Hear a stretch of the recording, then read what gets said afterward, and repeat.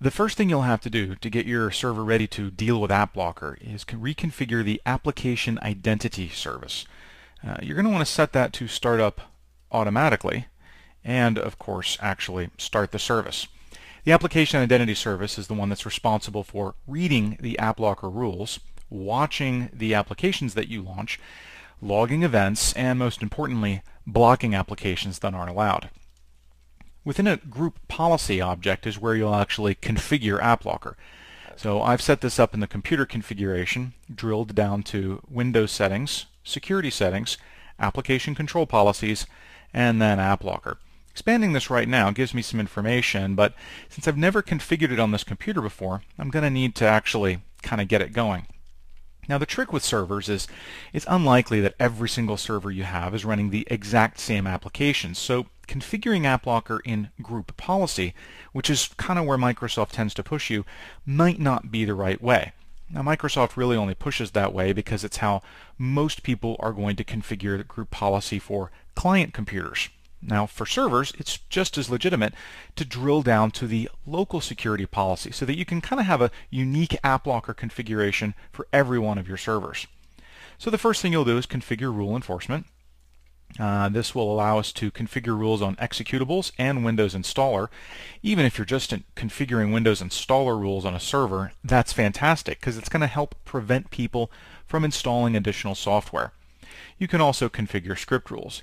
On the advanced tabs, you can enable DLL rule collection, but Microsoft doesn't really recommend it, neither do I. There are so many DLLs in Windows that trying to get AppLocker to look at every single one of them and control it can really put a kind of a hit on performance.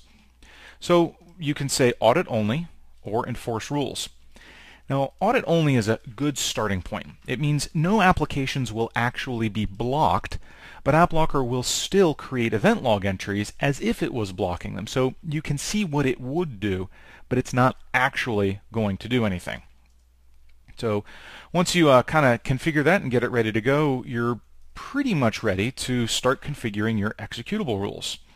And that's where you'll come down in here and create a new rule, or, and this is the one that really makes AppLocker unique from software restriction policies, its predecessor, automatically generate rules.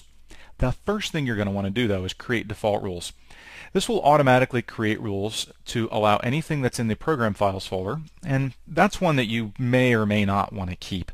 Uh, it's designed to get you up and running quickly without, you know, breaking your server, but if something can get into the program files folder, then it's going to run. So it kind of might defeat the purpose of kind of locking down your server. All files in the Windows folder, that certainly makes it easy to keep the operating system running. And then anything run by the built-in administrators group. Again, if the goal is to lock down the server against other administrators installing things without your knowledge, you're probably going to want to remove that rule. Automatically generating rules really just kind of scans a particular folder and then looks for executables that are in that folder and then creates rules to allow all of them. So you can do that as a quick way of kind of getting up and running.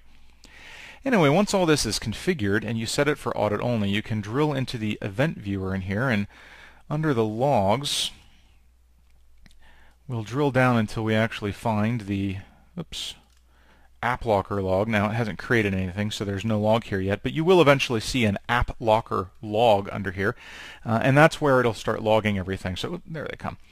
Uh, that's where it'll start uh, telling you which applications it would have blocked. Once you're satisfied that it's not generating blocks for anything that you want to run, you can go back and reconfigure that, uh, that AppLocker policy, this rule enforcement, to actually enforce rules instead of being in audit-only mode.